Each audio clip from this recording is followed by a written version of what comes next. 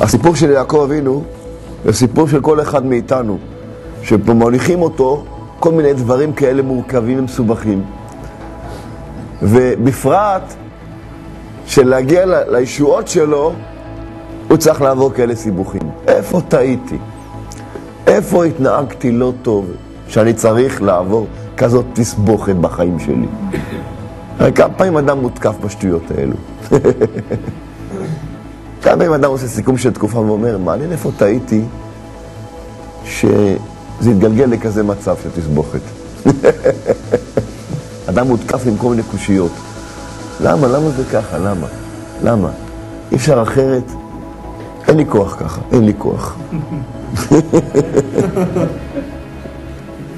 פתאום אתה רואה אותו ככה, שוכב. מה קורה איתך? אני מחשבן את הבורסה. איזה בורסה. למה? כי אין, אין לו כוח לבן אדם. הוא מותקף בכל מתקפה. והאמת, שבאמת ישנם דברים שאין לאדם בכלל בחירה בהם. כי מתוקף התיקון שלו הוא חייב לעבור דרך שם. רק מה כן הבחירה שלו? איך הוא מקבל את זה? אם הוא מקבל את זה בצורה שהוא יודע שהכל פה זה רחמים ורוצים לטובתי על כל פנים, למרות הכל, ולא מתרעם, אז הוא יראה את הרחמים. הוא יראה את הסייעתא דשמיא. שאדם זוכה וזורק את השכל, כי אני לא מבין, בעצם בזה נמחקות לו עבירות. כי השאלות האלה באות מעבירות. אני צריך לשאול פה שאלות. החיים שלי לא קלים.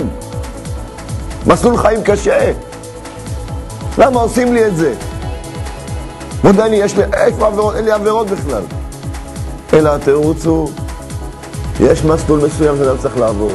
בפרט בזמן שאדם מותקף במתקפה הזאת, שהצטברו אצלו דברים, שהוא עושה את חשבון של תקופות, או שפתאום קשה לו, הכל פתאום קשה לו, פתאום כבד עליו, מיד להמשיך ככה, בלי להבין, לא מבין, אני ממשיך הלאה. כי זה עושה את ההמתקה.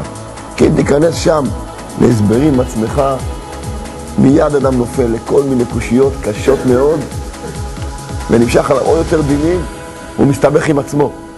מסתבך עם עצמו, זה פוגע בו מאוד נפשית חזק. זאת אומרת, כשאדם הולך עם מהלך כזה, שבעצם, למרות הכל יש עליי רחמים, באותו מסלול בדיוק שאתה צריך לעבור בין כך, אתה עובר אותו עם שכל אחר לגמרי, עם מהלך אחר לגמרי. ואז מילא נותנים לו לראות גם את הרחמים. נותנים לו לראות איך לא עזבנו אותך, לא עוזבים אותך. נותנים לו לראות את זה, לאורך כל הדרך, את היד הזאת שהולכת איתו. מה שאין כן, שהולך עם התרעמות ועם קושיות. למה ולמה ולמה? והלמה הזה משגע אותו, ממשיך על המוחין דקטנות, וחונק אותו. זאת אומרת, יש מהלכים שזה בכלל לא ביד האדם. אדם צריך להתנהג את כל המאמצים שלו לעשות, בתמימות, עם תפילות, עם תורה, עם התחזקות, ויש גם דברים שבכלל לא ביד שלו. רק מה אם הוא ילך עם קושיות, אני לא יהיה לו חשק להמשיך הלאה. אם הוא הולך עם קושיות, אני מתאמץ ומשתדל ועושה, ולמה זה ככה נראה? תראה אותו, פתאום אין לו חשק לכלום. כלום אין לו חשק. אבל אם הוא יודע, אין כזה דבר, אצל הקדוש ברוך הוא לא מפסידים. אם אני עושה דברים טובים, אף על פי שאני נופל, הדברים מצטברים, וזה עוד פעם, עוד פעם זה מצטבר, אז אין כזה דבר שאני לא אזכה, והוא ממשיך הלאה, אז הוא יזכה. אבל יש דברים שהוא חייב לעבור דרכם. השאלה רק איך הוא יעבור את זה. אם יעבור את זה בצורה כזאת לא מסכן, דפוק, אני דפוק, אני דפוק, אבל הוא חייב, ברוך השם, שמוזה, השתבח שמו, אותו דבר בדיוק, בדיוק אותו דבר בדיוק. הוא צריך לעבור מפה לפה. הכל הדרך, הוא הולך כמו אחד שסחבו אותו באוזן. או שהוא הולך, בסדר, ברוך השם, מסתדר, נעבור את זה. ואיך איך אני עובר את זה? השתבח שמו מגיע מחדש, להסביר לך בדיוק למה לא אתה בית כזה, עם שכונה כזאת, עם אחים כאלו, דודים כאלו, עם חברים כאלו, עם בלבולים כאלו, עם כל הנסיבות שלך, מדויק, מדויק. למה הפרעות כאלו?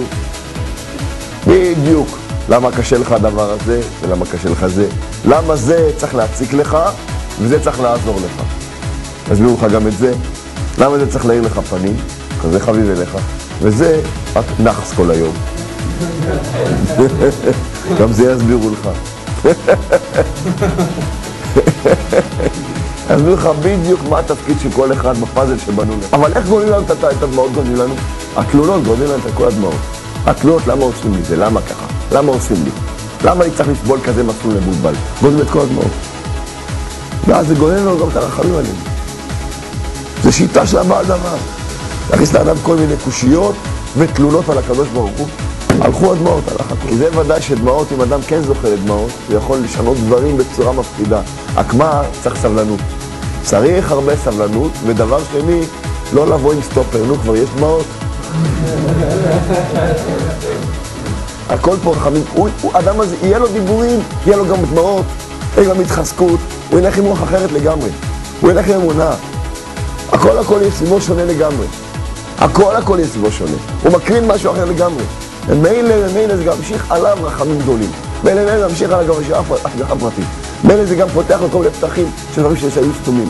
ומילא ממשיך עליו ישועות. זאת אומרת שהשם זה האור. למה? כי בחושך צריך את השם. אז מה, מה זה השם? השם, השם, השם זה אמת, החותמת של הקדוש ברוך הוא זה אמת. אז רק עם אמת הוא יכול להעיף את החושך. הפירוש עם אמת? שמה שהוא אומר, את המעט שהוא אומר, יגיד עם אמת. תגיד פשוט, מה שמפריע לו באמת, מה שבאמת מפריע לו. קשה לי מאוד. תגיד את זה. מספיק.